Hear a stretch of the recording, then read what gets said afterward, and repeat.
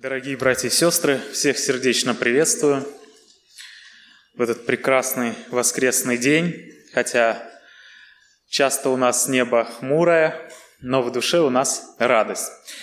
Я хочу прочитать текст, который записан в Евангелии от Иоанна, первая глава, 47 стих и ниже. От Иоанна, первая глава, 47 стиха и до конца главы. Иисус, увидев идущего к нему, к нему Нафанаила, говорит о нем, «Вот подлинно израильтянин, в котором нет лукавства». Нафанаил говорит ему, «Почему ты знаешь меня?» Иисус сказал ему в ответ, «Прежде нежели позвал тебя Филипп, когда ты был под смоковницей, я видел тебя». Нафанаил отвечал ему, «Рави, ты сын Божий, ты царь Израилев». Иисус сказал ему в ответ, «Ты веришь, потому что я тебе сказал, я видел тебя под смоковницей? Увидишь больше всего». И говорит ему, «Истина, истина говорю вам, отныне будете видеть небо отверстым и ангелов Божьих, восходящих и нисходящих к Сыну Человеческому». Братья и сестры, Нафанаил идет к Иисусу, потому что его позвал Филипп. Удивительно, ведь и самого Филиппа кто-то позвал. Петра позвал Андрей, да? И так далее. Такая цепочка. Кто-то зовет к Иисусу, и люди приходят. И они думают, что о них никто ничего не знает. И Фили... э, Нафанаил идет к Христу, и у него в душе сомнения, множество переживаний всяких. Правда ли он действительно Мессия? И его терзают смутные сомнения по этому поводу вообще он просто не верит, что это действительно Мессия. Но когда он соприкасается со Христом, когда он его видит, то Христос ему говорит, вот подлинно израильтянин, в котором нет лукавства. И у него сразу же вопрос, откуда ты знаешь меня? И Христос говорит ему, я видел тебя под смоковницу. Что там было под смоковницей? Это такая тайна интересная, братья и сестры. Мы не знаем, конкретно точно, что произошло под смоковницей. Но Нафанаил там был, и он думал, что он один там. И больше никто не видит. Одно из преданий гласит, что Нафанаил родился в Вифлееме Иудейском. Он был ровесник Иисуса Христа и родились в одно время. И вот он был там, когда пришел Ирод со своими воинами убить всех младенцев.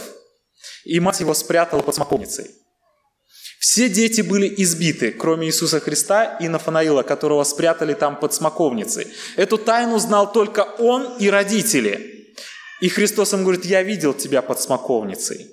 Я не знаю, насколько это правда, это одно из преданий, но, друзья, Бог видит все. И Он видит каждого человека в самых стесненных обстоятельствах, в самых трудных переживаниях. Христос говорит, я видел тебя, я был там рядом. Когда мы ехали сегодня утром сюда, в церковь, на машине, мне мой старший сын задает вопрос, пап, а под сколько мы едем? Это в секунду или же километры, или же это в час? Я говорю, это в час. Он говорит, а вот столько же в секунду. Кто с такой скоростью летает? Ну, я говорю, слушай, это очень большая скорость, а, я не знаю даже. А ангелы с какой скоростью летают? И вот у нас да, такой разговор произошел, с какой же скоростью летают ангелы, а с какой скоростью летает Бог.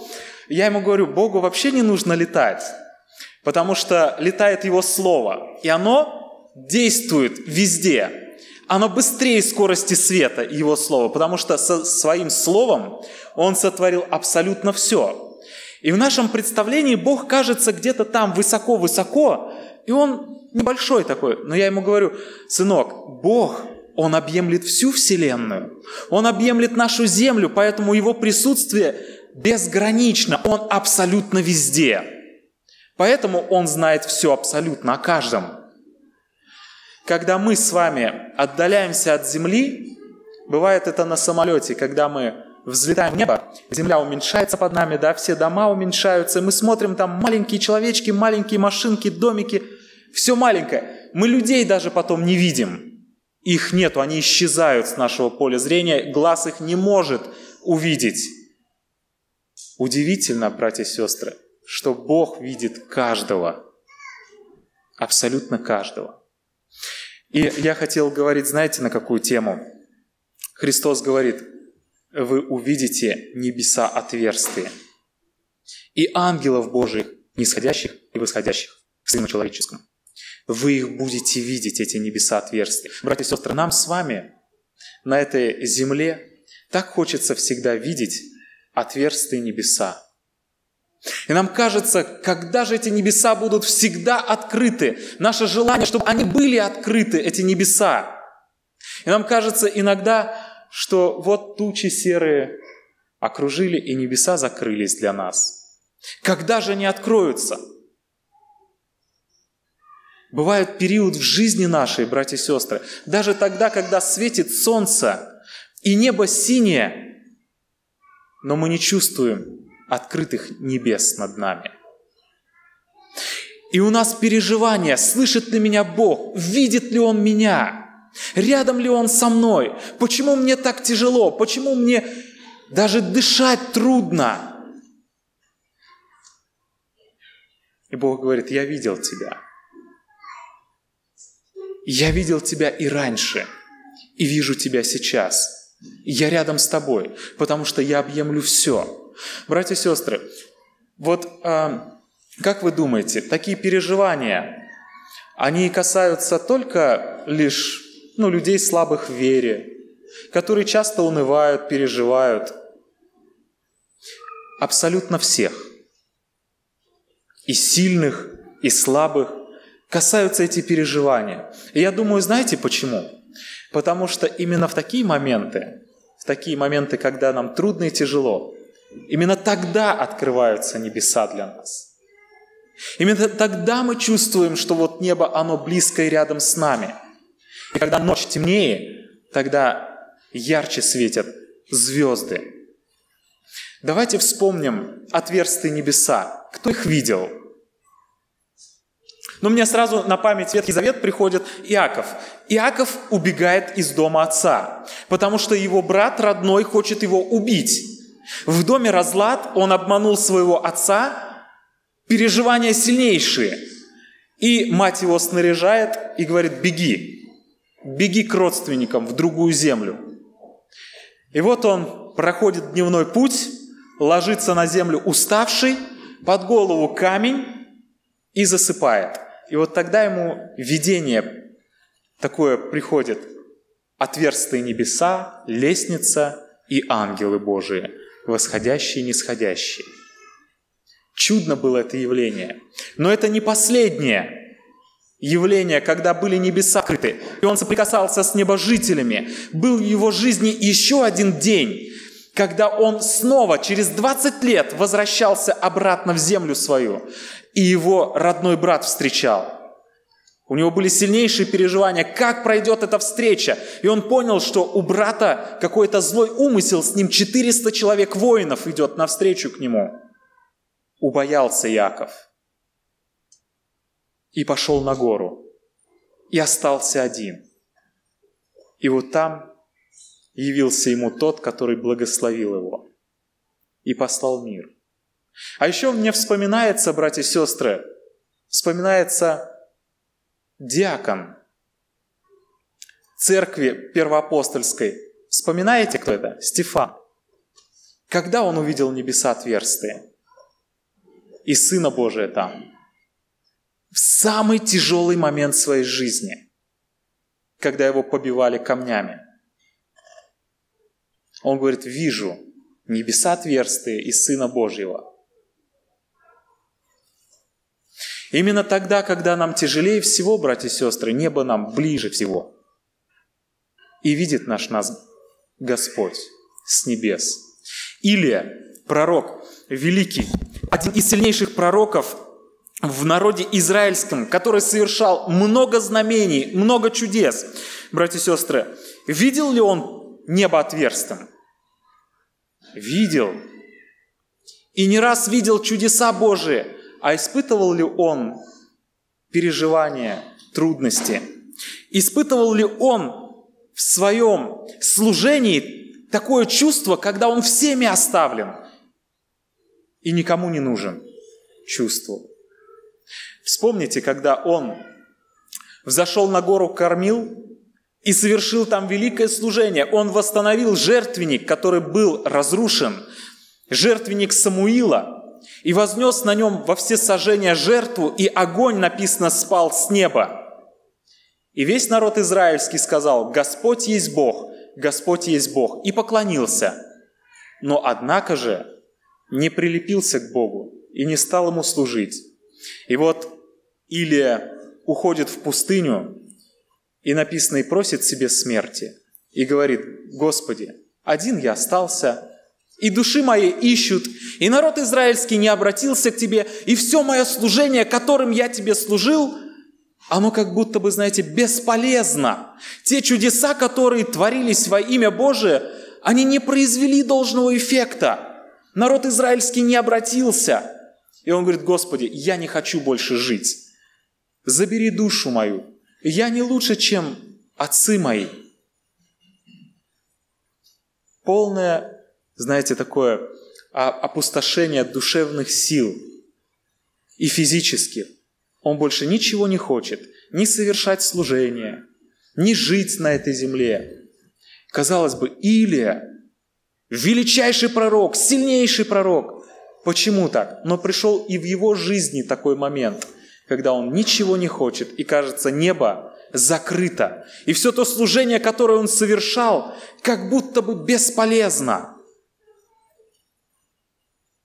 Бог его будет, вставай, Илия, подкрепляет силы его. И Или идет к горе Синай, и там Бог ему открывается. И он говорит такие удивительные слова. «Ты увидишь меня, ты увидишь меня».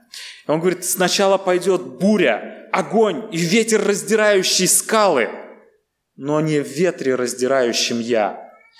Потом будет гром и шум, но не в этом я. А потом веяние тихого ветра, и я в нем. Да, братья и сестры, нам иногда кажется, чем больше совершаем мы служений, тем чем больше и громогласнее оно звучит, вот в этом Господь. Но Бог говорит, а я веяние тихого ветра. Дух Святой, знаете, Он веет в тихом ветре и приходит в каждое сердце. И что удивительно, братья и сестры, вот именно в такие моменты Бог открывает нам небо. И Он открывает свои тайны и показывает нам путь, и нас вдохновляет, и дает нам эти силы. Почему же, братья и сестры, случается так в нашей жизни, что нам кажется, что небо закрыто? Еще раз хочу сказать, братья и сестры, наверное, для того, чтобы принести славу Богу. Как бы это странно ни звучало, братья и сестры, но когда мы испытываем переживания и остаемся в них верными Богу, вот здесь вот возносится удивительная слава нашему Богу. От, знаете, от духовного мира, который смотрит на нас, что мы в этих переживаниях остаемся верными Богу. И вот небо становится нам ближе, и Бог открывается нам и наполняет нас благословениями и утешает нас. Нам главное остаться Ему верными. Главное не потерпеть кораблекрушение в вере. Я вспоминаю э, дни, когда я служил в армии. Уже больше десяти лет прошло, братья и сестры. И вот когда были трудные испытания, когда я отказался взять в руки оружие, потому что я христианин, я сказал, что я не буду убивать людей и не буду брать в руки оружие. Это было твердое заявление. Хотя для всех оно казалось странным. Как? Это невозможно. В армии не принять присягу и не взять в руки оружие. Конечно же, э, нас пытались по-разному убедить и заставить, и угрозами. Но знаете, был такой подъем духа, настолько была твердость у нас внутри с моим братом. Он тоже был со мной, служил, и так же, как и я, не взял в руки оружие. И вот знаете, все хорошо было. И мы видели небо отверстием. Но вот настал момент в конце службы, когда казалось, уже все успокоилось. И никто нас а, за это не гоняет и не, и не хочет нас посадить в тюрьму там за это. И все успокоилось. И настало самые тяжелые дни, Знаете, дни такого испытания внутреннего, испытания веры. И, казалось бы, небо не слышит, и молитвы до потолка, и ничего не хочется, ни Библию читать, ничего. И вот только одна молитва, Господи, вот ничего больше не хочу, вот забери меня, как вот молился Илия. Ничего не хочу. Как выйти из этого состояния? Как увидеть небеса отверстиями? Именно так сложно нам, братья и сестры, увидеть их отверстиями, а так хочется. А только слезы, слезы застилают глаза. Но именно в эти моменты Бог особо близок к нам. И почувствовать это можно, братья и сестры, когда мы начинаем молиться и прославлять нашего Господа. Когда мы не просто плачем, когда мы не просто переживаем в своем сердце, но когда мы с вами начинаем прославлять нашего Господа в молитве, вот тогда мы наконец-таки видим небеса отверстиями. Хочу всех, братья и сестры, сразу, а, знаете, утвердить в таком уповании то, что небо на самом деле всегда отверсто для нас. Абсолютно всегда. Просто мы этого иногда не замечаем. Почему? В послании Ефесянам апостол Павел, он говорит такие слова. «И нас, мертвых по преступлениям, оживотворился Христом, благодатью вы спасены, и воскресил с Ним, и посадил на небесах во Христе Иисусе». Как небо для нас, братья и сестры, может быть закрытым и неотверстым, когда мы сами там, на небе, во Христе Иисусе посажены. Оно никак не может быть закрытым для нас. Мы там. Уже и небо для нас открыто. И Христос дал вот это обетование, будете видеть небо отверстым. Это обетование для всех верующих. В любое время. И тогда, когда хорошо, и тогда, когда плохо. Но, к сожалению, братья и сестры, вот открываем небо часто мы сами – в этом участвуем. И мы сами, братья и сестры, а, знаете как, не спешим его открывать. Не спешим. И нам кажется, что оно закрыто. Но когда мы с вами склоняемся на колени и начинаем молиться Богу в этих переживаниях, вот тогда мы чувствуем, небо открыто. Небо открыто. 83-й псалом, смотрите, я прочитаю этот текст, Тут такие слова написаны. «Как вожделенное жилище Твои, Господи сил! Истомилась душа моя, желая во дворы Господней, сердце мое и плоть моя восторгаются к Богу живому. И птичка находит себе жилье, и ласточка гнездо себе, где положить птенцов своих? У алтарей Твоих, Господи сил, Царь мой и Бог мой». Блаженны живущие в доме Твоем, они непрестанно будут восхвалять Тебя. Блажен человек, которого сила в Тебе и у которого в сердце стези направлены к Тебе. Проходя долину и плача, они открывают в ней источники, и дождь покрывает ее благословением. Приходят от силы в силу, являются пред Богом на Сионе. Вот посмотрите, даже сама природа, да, птицы небесные. Вот псалмопевец говорит, они находят себе, где положить своих птенцов – у алтарей. Почему? У алтарей Божьих. Потому что там спокойней. Там не собьют их гнезда, там не разворошат их жилища, да? У алтарей Господних. Они туда стремятся. Там тихо, там спокойно. И вот так же наша душа, братья и сестры, она желает этого покоя, она желает утешения, она желает отверстых небес. Это возможно братья и сестры, в жилище Господнем, когда у человека направлено сердце к Господу. И вот тогда, проходя долину и плача, открываются источники благословения. Опять же, долина плача, братья и сестры, так суждено нам проходить.